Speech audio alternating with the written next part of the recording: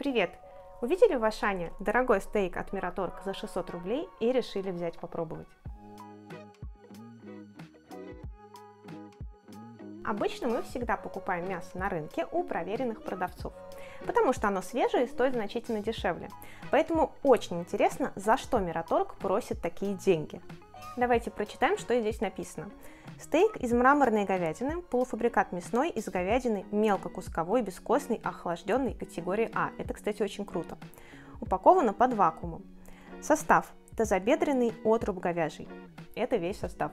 Если вы думаете, что купите стейки за 600 рублей, придете домой, кинете их на сковородку и ужин будет готов, то это не так потому что мясо сначала нужно нагреть до комнатной температуры.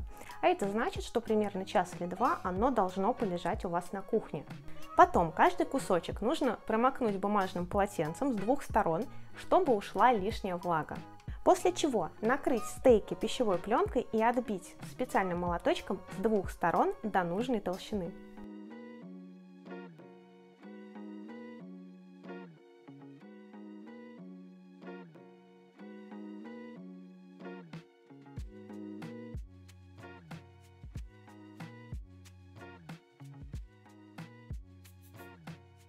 И это я придумала не сама.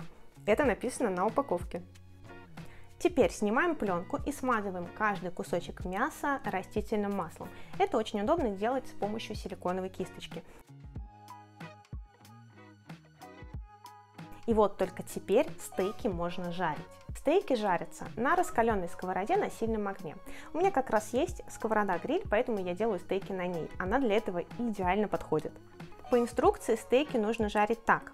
А, обжарить по 1-2 минуты с каждой стороны до золотистой корочки, после чего убавить огонь и жарить еще пару минут. И потом выложить стейки на теплую тарелку. Наверное, мне надо нагреть тарелку в микроволновке. Вот так выглядят готовые стейки. При подаче их нужно посыпать солью, перцем и свежей зеленью.